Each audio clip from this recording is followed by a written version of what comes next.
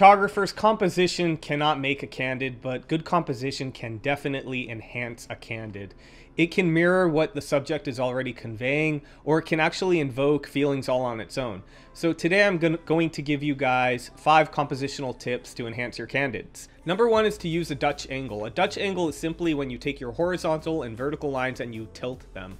It can be used in cinema to induce anxiety or to suggest things have gone awry. It can be used to kind of mirror what the subject matter is feeling internally, but it can also just be a whimsical approach to framing. It can make your shot feel a little bit like less planned, like you saw a moment, you quickly grabbed it, and you didn't have time to straighten out your horizon line. I know that doesn't really make sense because who doesn't have time to shoot straight, but it can give that sense. It can also just create a more dynamic image and when you have a really lively moment, it, it especially works well to complement that. Number two is to shoot through things to frame your subject. I often shoot through things in order to kind of block off my shot, draw the eye into my subject matter, but I also shoot through things to kind of give a more candid feel. Now, what it evokes for me is a very fly on the wall shot, a shot that from an outsider where you see something happening and you're not really repositioning as a photographer to capture it. Having those sort of imperfections obscuring your field of view, that kind of thing. It just feels more natural. It feels like a little bit like it's a shot you could grab at that time and it feels less contrived. Ironically, we're planning this out and we are purposely shooting through things in order to give it a more candid look, I know, but that's okay. Number three is to use a tilt shot to shoot from extreme high and low angles. Now, what this does is it varies up your perspective. You don't always need to be shooting from the waist level or from eye level, whatever height you're at but it also can convey different meanings. When you shoot from way below, it has the effect of making someone look more important, making them look powerful, strong. If you shoot from above, it has the opposite effect. It could convey someone's disenfranchised, weak, uh, has no power. So you can use this effectively to not only offer a varied perspective, but to also convey different meaning.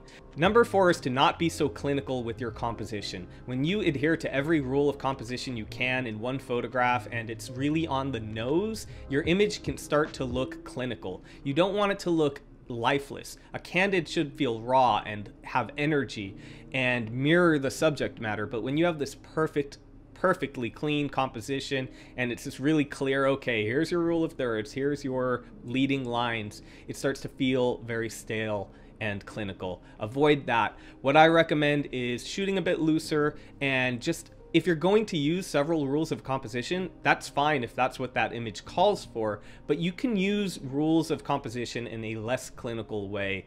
Leading lines don't always have to be like a fence post running right toward the subject matter, for example. There's leading lines everywhere. So shoot a little looser, and if you are going to use those rules, just make sure it's not so on the nose. Number five is to break the rules. Be unconventional and try different things.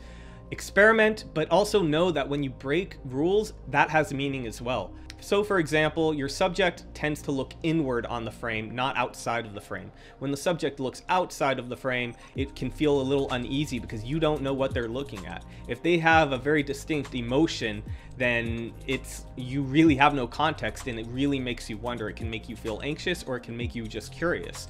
So my next video will focus on the conceptual ways you can enhance your candids from your behavior to how you interact with people. It's going to be a really long video. I'm excited about it, but also it's very daunting. Remember, I'm a full-time professional photographer and I teach photography, and it's really hard for me to make these videos.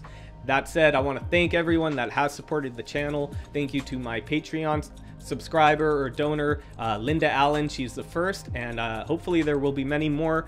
What I want to do with Patreon is really help people, so I'm going to create different levels in which I can mentor you. I'm not looking for you, hey, just here's some money because you make YouTube content.